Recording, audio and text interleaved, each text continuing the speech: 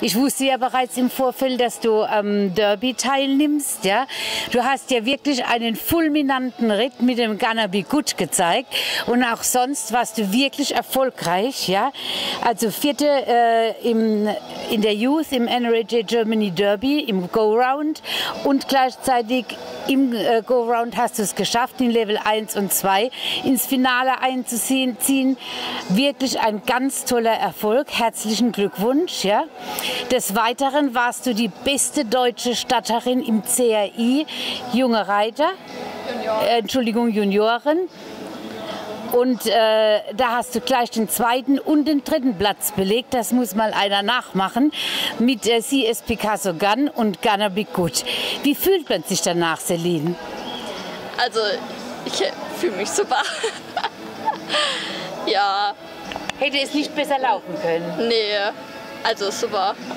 Kennst du eigentlich nicht das Gefühl von Angst? Deine Ritte waren so schnell, da ist es einem ja schon beim Zuschauen schwindlig geworden.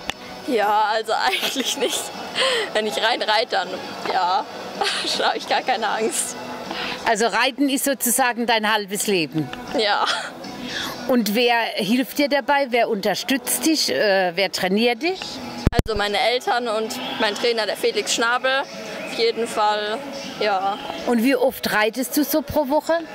Oh, fast jeden Tag fast, dann, muss, dann kann der Erfolg ja nicht ausbleiben. Ja?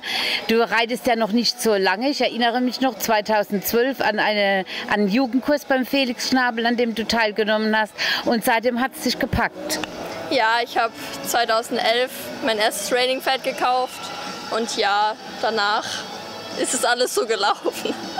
Und hast du bestimmte Wünsche oder Vorstellungen jetzt so für die nahe Zukunft in Sachen Reiten?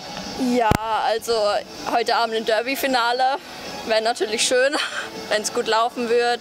Und ja, das deutsche Team wäre auch schön. Und ja. Und weitermachen so wie bisher. Trainieren und äh, gut reiten. Ja, genau. Celine, vielen Dank für das Gespräch. Wir drücken dir natürlich alle Daumen, ja? Und du rockst das ganz bestimmt. Weiter so, Celine. Danke.